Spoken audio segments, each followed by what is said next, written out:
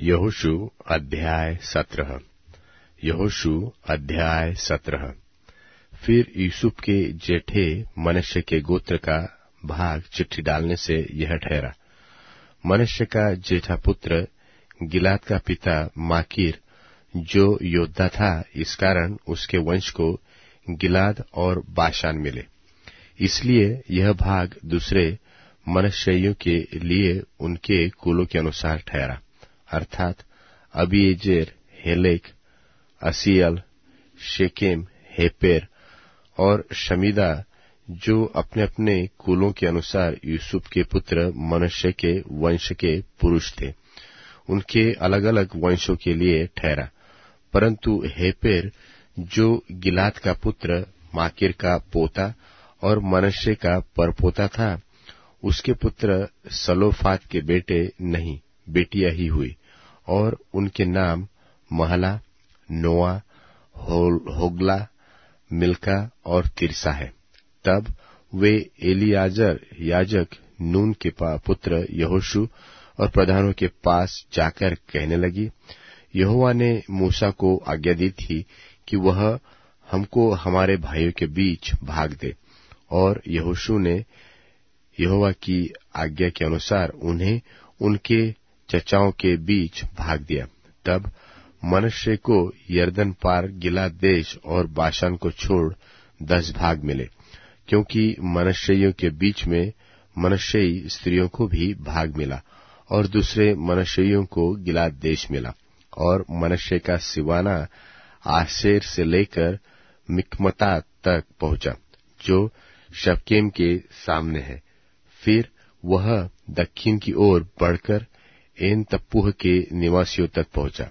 तप्पूह की भूमि तो मनुष्य को मिली, परंतु तप्पूह नगर जो मनुष्य के सिवान पर बसा है, वह एप्रेमियों का ठहरा। फिर वहाँ से वह सिवाना काना के नाले तक उतर के उसकी दक्षिण की ओर तक पहुँचा। ये नगर यद्यपि मनुष्य के नगरों के बीच में थे तो भी एप्रम के ठहरे। और मनुष्य का सिवाना उस नाले की उत्तर की ओर से जाकर समुद्र पर निकला।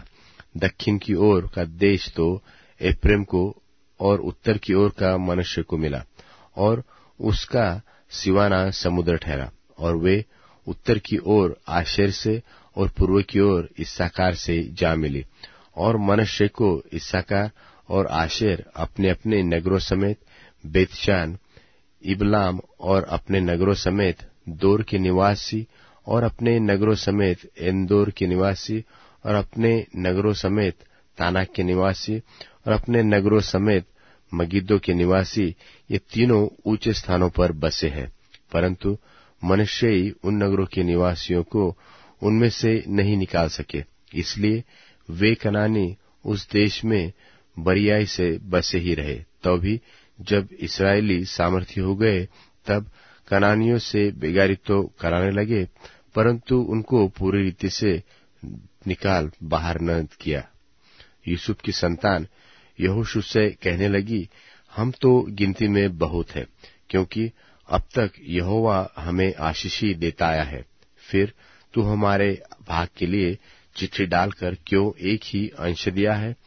यहोशु ने उनसे कहा कि तुम गिनती में बहुत हो और एप्रेम का पहाड़ी देश तुम्हारे लिए छोटा हो। तो परिजियो और रपाइयों का देश जो जंगल है, उसमें जाकर पेड़ों को काट डालो।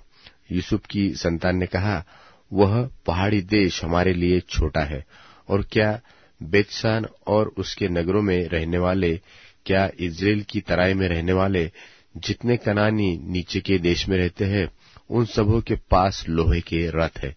फिर यहोशु ने, क्या एप्रेमी, क्या मनुष्य अर्थात यूसुफ के सारे घराने से कहा हाँ तुम लोग तो गिनती में बहुत हो, और तुम्हारी बड़ी सामर्थ्य भी है, इसलिए तुमको केवल एक ही भाग न मिलेगा। पहाड़ी देश भी तुम्हारा हो जाएगा, क्योंकि वह जंगल तो है, परंतु उसके पेड़ काट डालो, तब उसके पास आकर आसपास का देश भी तुम्हारा हो जाएगा, क्योंकि चाहे कनानी सामर्थ्य हो और उनके पास लोहे के रथ भी हो तो भी तुम उन्हें वहाँ से निकाल सकोगे।